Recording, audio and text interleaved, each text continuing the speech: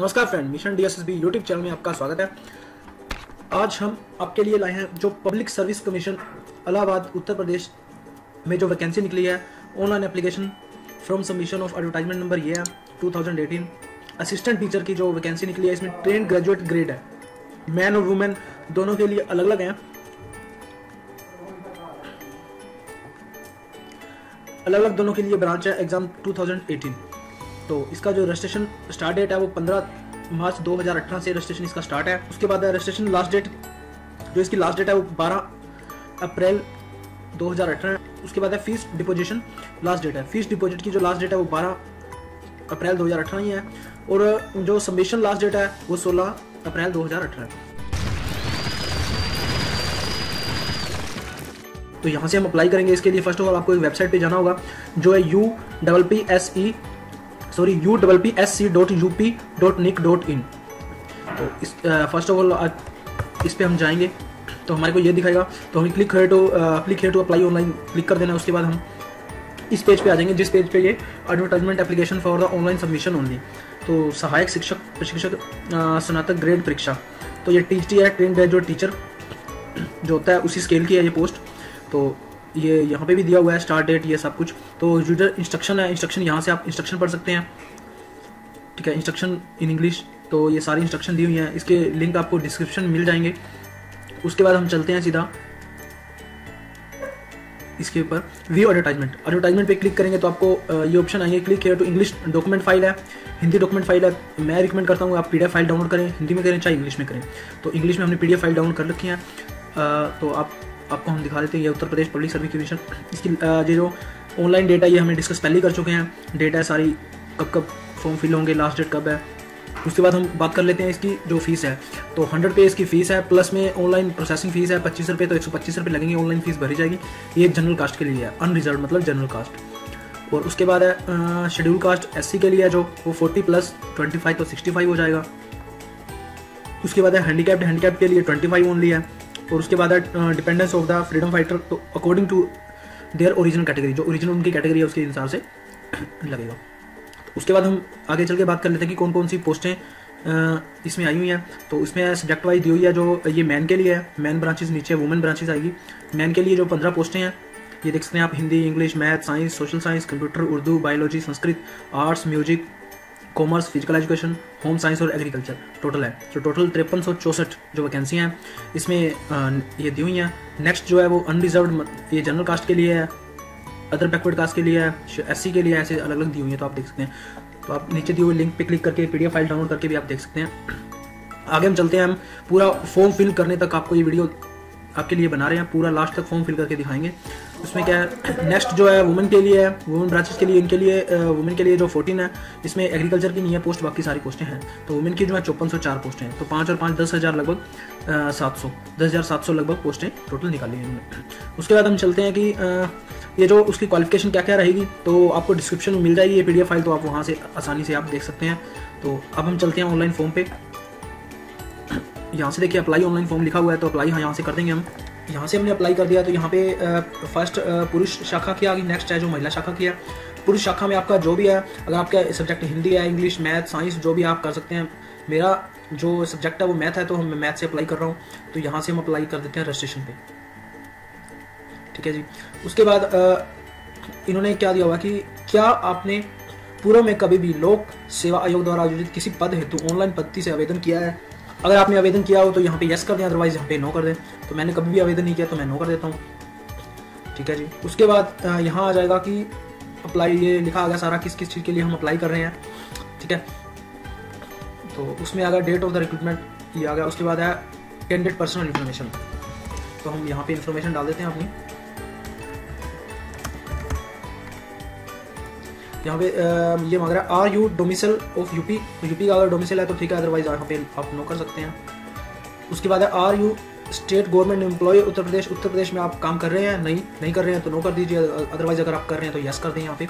Have you have you ever been debarred from UP public service commission तो इसमें यह क्या है कि आपको कभी भी यूपी सर्विस कमीशन से निलंबित किया गया है। अगर किया गया है तो यस करेंगे अदरवाइज़ नो कर देंगे। कैटेगरी पूछ रहे हैं यहाँ पे तो जनरल हम कर देते हैं। तो उसके बाद डेट ऑफ़ बर्थ है जो। यहाँ पे जो कैटेगरी अगर आप यहाँ पे यूपी का डोमिसिल यस करेंगे तो आपको कैटेगरी यहाँ पे अदर ऑप्शन आएगी। जैसे देखिए, हम यहाँ पे यस करते हैं तो अलग अलग ऑप्शन आ रहे हैं। Are you dependent of U freedom fighter है या नहीं है? तो यस और नो है। आर्मी के कौन से स्केल पे हैं? तो ये चीज़ आ गई। आर यू हैंडीकैप्ड है या नहीं है? तो इस टाइप से आ गई। अगर ये भरेंगे तो कैटेगरी में भी आपको सामान्य है। एस सी बी सी ये सब सब कुछ मिलेगा। अगर यहाँ पे आप नो करेंगे डोमिसिल नहीं है तो यहाँ पे आपको जनरल ही रहेगा। अदर जो भी होते हैं स्टेट के तो वो जनरल भी माने जाते हैं, चाहे वो किसी भी कास्ट में हो। तो नेक्स्ट हम डेट ऑफ़ बर्थ भर देंगे यहाँ पे। ठीक है जी? तो चार जून उन्नीस सौ बानवे। ठीक है? ये जो date of birth calculating age जो कर रहा है, एक सात दो हज़ार अठारह से कर रहा है। तक, ठीक है? तो जेंडर जो जेंडर भर देते हैं, उसके बाद आर यू मैरिड और नो मैरिड और नोट वो नो कर देंगे हम। अगर आप मैरिड हो तो यस कर दीजिए। मोबाइल नंबर है मोबाइल नंबर हम भर देंगे। उसके बाद ईमेल आईडी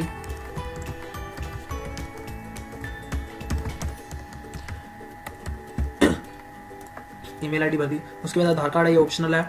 भरो ना भरो, कोई इसमें प्रॉब्लम वाली बात नहीं है। उसके बाद है हाई स्कूल हाई स्कूल की आप भर दीजिए जहाँ से आपने हाई स्कूल की आपकी डिग्री की है।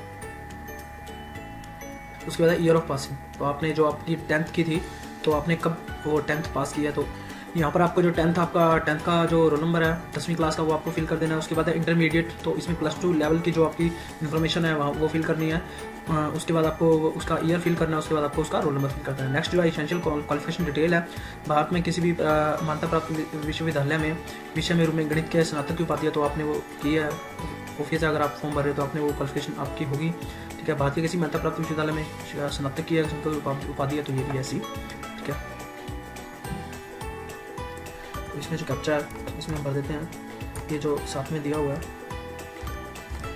ठीक है? तो वैलिडिटी और प्रीव्यू कर देते हैं हम। तो हम चेक कर लेंगे कि हमारा फॉर्म जो सही फिल हुआ है या नहीं हुआ। ठीक है? तो हमारा ये नेम आ गया फादर नेम आ गया कैटेगरी आ गई डेट ऑफ़ बर्थ आ गई डोमिसल आ गया मेरिट आ गया मोबाइल नंबर आ गया। तो आपका सब कुछ यहाँ पे आ चुका है। तो अब हम I have carefully check all the entries, submit application.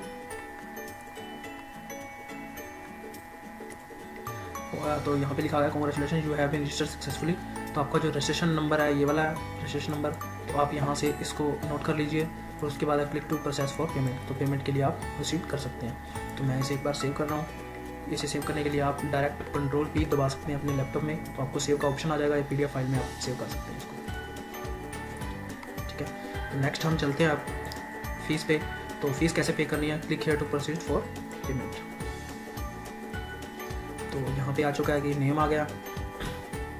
तो असिस्टेंट टीचर मैथ आ गया। तो फ़ीस रिक्रूटमेंट एक सौ पच्चीस रुपये जो फ़ीस है तो आप स्टेटमेंट ये ऑप्शन सेलेक्ट करके proceed proceed for fees deposition आप क्लिक कर सकते हैं।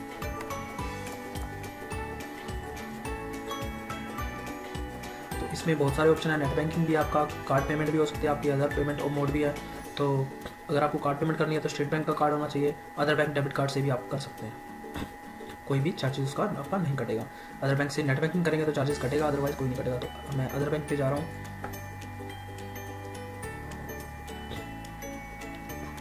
तो यहाँ से कंफर्म कर देंगे।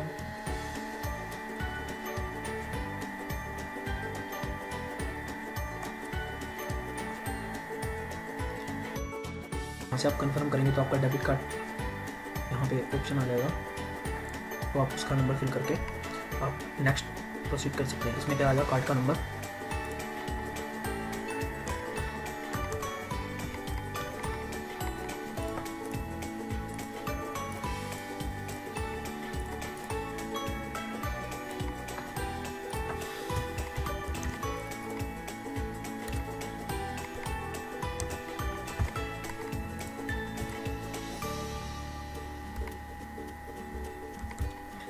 तो आप ये सारी डिटेल फिल करने के बाद आपको सीवीवी नंबर और ये टाइप ऑफ़ करेक्टर फिल कर देना, उसके बाद पे पे क्लिक कर देना।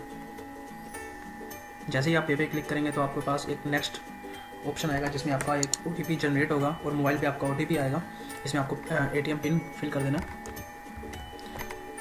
उसके बाद आपको एक ओटीपी मोबाइल पे रिसीव होगा, जिस, आप, जो अपने मोबाइल नंबर दे रखा है तो उसके बाद आप पेमेंट कर पाएँगे।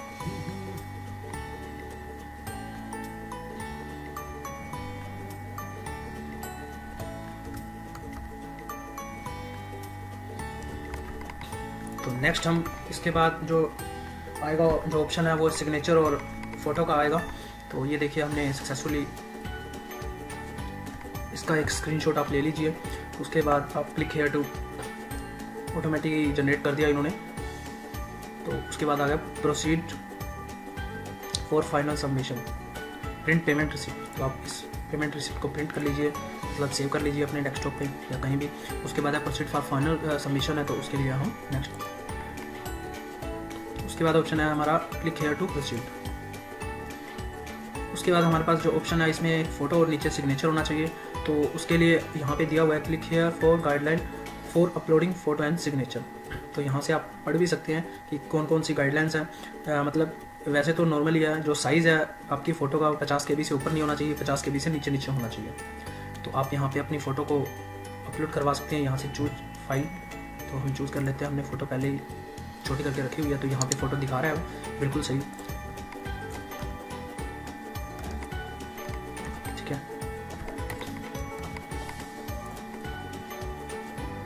तो देखिए, हमारा फ़ोटो अपलोड सक्सेसफुली हो चुका है। तो लास्ट में हमारा एक ही ऑप्शन बच जाता है प्रोसेस फॉर फाइनल सबमिशन होता है एप्लीकेशन तो अब हम फाइनल सबमिशन कर देंगे एप्लीकेशन का। तो देखिए I declare that I have read the use instruction and detail advertisement तो इसमें हम दोबारा भी देख सकते हैं कि हमने क्या क्या फील किया हमारा। तो इसे प्लीज़ केयरफुली आप चेक कर लीजिए।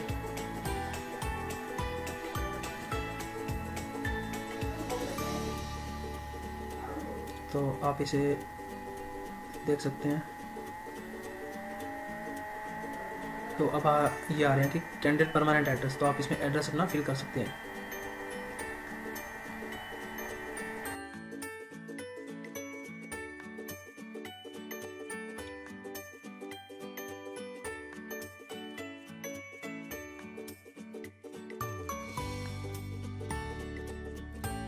एप्लीकेशन तो यहाँ पे यस कर देते हैं। तो ये हमारा बिल्कुल लास्ट प्रीव्यू हम फॉर्म कर लेते हैं। उसके बाद हमारा बिल्कुल लास्ट एक स्टेप रह जाएगा कि हमने फाइनल सबमिशन इसका फॉर्म का करना है। तो आप देखिए, हमने सब कुछ फिल कर लिया है फ़ोटो भी आ गया है सिग्नेचर भी आ गया है। तो लास्ट जो कैप्चा हमारा बचता है, ये वाला। एच जी फाइव तो बिल्कुल लास्ट सबमिशन एप्लीकेशन हम फॉर्म कर देते हैं। तो आपका देखिए, बिल्कुल आसान सा फॉर्म था, आप घर बैठे भी इसको फिल कर सकते हैं। उसके बाद आगे click to download application form print application slip application slip को आप प्रिंट कर सकते हैं, जिसमें कि आपकी डिटेल होगी। इसे भी हम कर लेते हैं, उसके बाद इसे डाउनलोड कर लेते हैं प्रिंट एप्लीकेशन फॉर्म तो आपका ये एप्लीकेशन फॉर्म जो है, पूरा का पूरा जो आपने अभी फिल किया है तो आपका आ चुका है। इसे आप प्रिंट में जाके आप पीडीएफ फ़ाइल में इसे सेव कर सकते हैं।